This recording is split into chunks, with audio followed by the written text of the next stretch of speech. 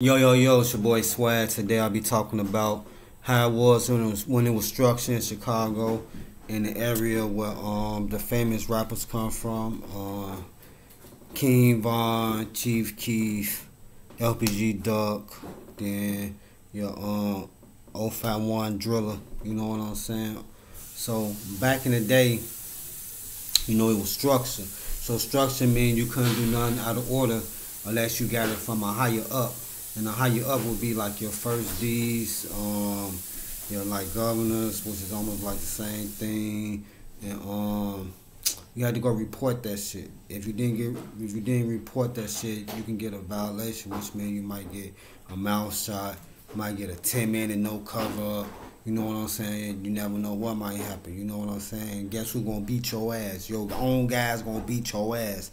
But if you do something fucked up, they gonna send them niggas that ain't from your hood, and they gonna fuck you up. So a lot of things was different back then. Um, a lot of a lot of people um, that's joining in, or if you're not a regular. So I grew up in Parkway Gardens, which is old block my grandmother stayed on Front Street. You know what I'm saying? That's like majority of my childhood since I've been like five or six. I've always been in that area.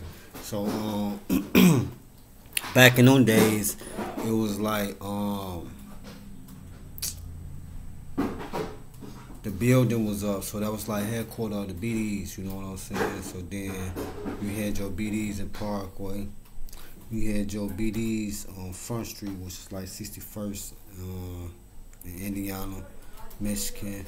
Um, state that nobody really have. Like if you look Google this shit up, like one nobody on State Street. You know what I'm saying? So um, the GDs had like 59th State, um, like 58th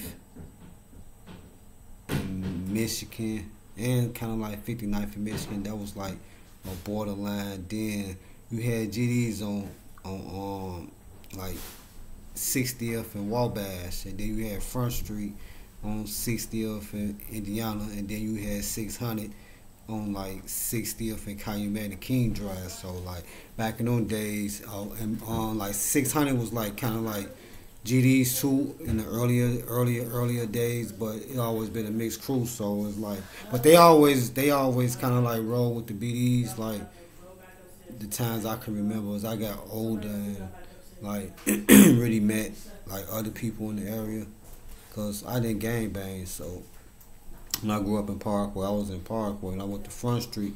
And I was just visiting my grandma. But as I got older, I started walking around and venture on my own. That's how I started meeting different people and doing all this other shit. So um, it was a borderline. So the borderline was that I could go to y'all store, y'all could come to my store. Even if I was shooting at y'all, that shit didn't matter, nigga. It's peace treaty, nigga. We gonna walk by and but like if we fight or something, that's gonna start a street war. You know what I'm saying? Then the higher ups uh, talk to each other. You know what I'm saying? Like they got to a, a street fight.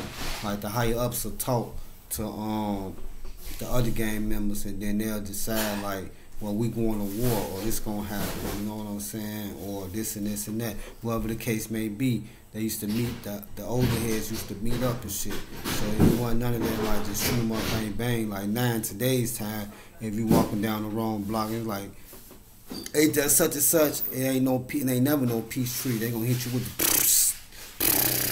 just just up them bitches and get them let them spray. You know what I'm saying? But back in them days, like you'll get a punkin head, even if you got caught lacking. Like ain't no guns getting just up. Like, you getting a straight punkin head. You getting your shit stumped, beat. You getting jumped, all that shit. You know what I'm saying? But um. That was the only biggest difference when it was structured. You couldn't do nothing out of order. Your ass was gonna get got, cause back when it was structured, they was selling more drugs. Drugs was more of a thing. Now it's more of a killing. So in my block clocking like ten thousand a week, and you got it hot over here. You got the police riding around. The police sitting on the block. You stopping the money. You know what I'm saying? And that's one thing they didn't want.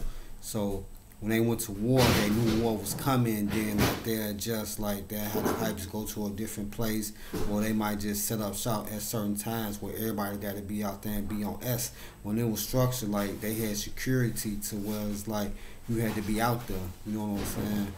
and it was on count. We had to do that type of shit. Ain't no count no more. Everybody do their own shit.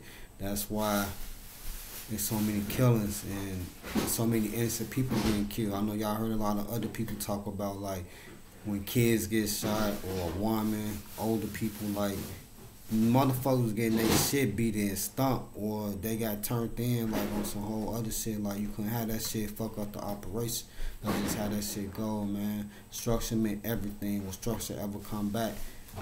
I don't think so. But, you know, for those who could have made destruction, they made destruction. You know what I'm saying? It is what it is.